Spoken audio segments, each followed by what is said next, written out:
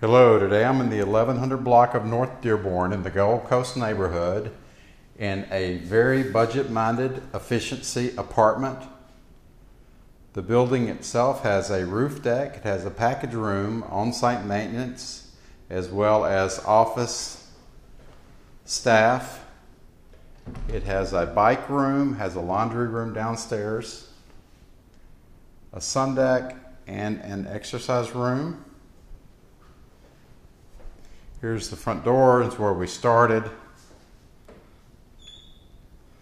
A really nice bathroom, nice modern tile, medicine cabinet, nice modern lighting.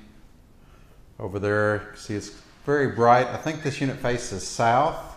It's a really nice ceiling fan, really good size step-in closet over there.